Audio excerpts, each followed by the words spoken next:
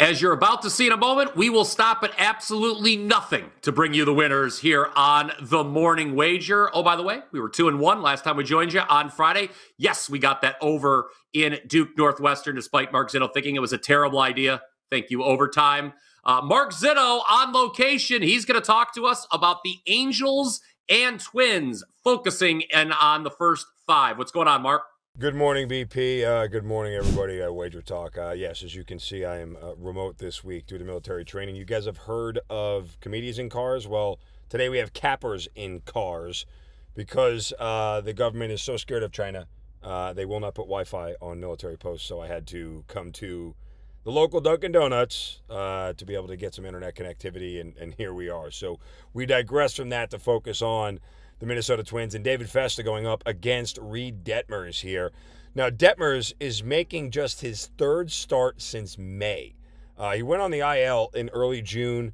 He just came off uh, last week and made a great start against the Dodgers. Six innings, two runs, 10 strikeouts he was pretty good. But I'm going to fade him here, and I'm going to put I'm going to back David Festa once again, just because this is a young pitcher that we've backed a lot. We've looked at his K prop a lot. The Angels have the eighth highest K rate on the road since the beginning of August. Here again, this is an Angels team that's fading. This is a Twins team that's pushing.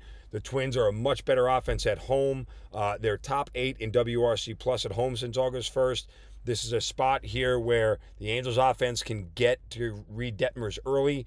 David Festa should be able to take care of the rest as long as we get typical Festa, which I know a lot of people don't know what that is, but you know, if you look at his numbers and his starts, he's been very good and very reliable since moving into the starting rotation here. So uh, you're talking about two runs or less in four of his last five starts. The only one I didn't go to was the one day we did the K prop with him against St. Louis, and he uh, he ended up with five, and it was five and a half. He only got pulled after three and two thirds. So regardless, here, um, this is a spot where I think we get the lead after five, and uh, we, we're willing to lay the half run here with the Minnesota Twins. All right, go ahead, smash that like button if you're rolling with Mark and the Twins in the first five. I too have a first five play here for my half of the double play, although I will be taking, not laying, the half a run. Vintage Bryan Power here, guys. Uh, I'm looking at the Reds and Braves over their last 27 games.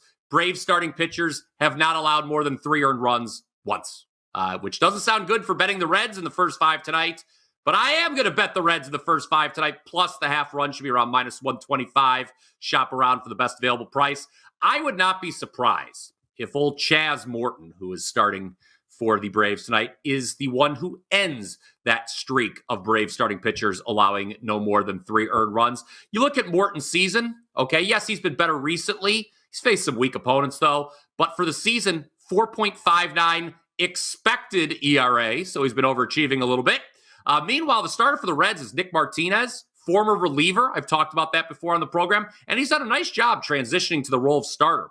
2.74 ERA, 0.85 whip on the road this season. So he likes pitching away from Great American Ballpark. This game is in Atlanta, of course. And I think the Reds who are better than their record. I've got to mention it again, their positive run differential for the year. I think they're live to win this game. If they do, it's likely going to be because of Martinez pitching well early. The smartest bet is to take the half run in the first five. Something else to note the Braves needed 11 innings to win yesterday against the Blue Jays. They were three outs away from losing, tied at the bottom of the ninth. Then they needed to score twice in the 11th. So a really tough game there. I know it was a close call for Cincy as well on Sunday, but really impressive beating the Mets. The Mets were 9 0 their previous nine games. The Reds are also 2 0 against the Braves here in 2024. Both those wins came here in Atlanta. So, first five run line, it is with Cincy. Take the plus 0.5. All right, guys, before we get to Monday Night Football and our best bet on the show, just wanted to remind you uh, about what's going on at wagertalk.com. Great run for yours truly. 23 and 11 and 1 in all sports the last 16 days. It was a great weekend of football, particularly on the college front. Uh, we go 3 and 1 on Saturday. Had Northern Illinois, didn't need those 28 points as they upset Notre Dame outright. It was a winning week 1 in the NFL as well. For Monday, my top selection currently available, WT.buzz slash BP, is a total in Major League Baseball. I am on a six and one run with MLB totals after the 4% on the under in Guardians Dodgers yesterday. No sweat there as the Guardians were shut out. So head on over there to pick up today's top play. Let's now talk about the Monday Night Football game between the Jets and the 49ers.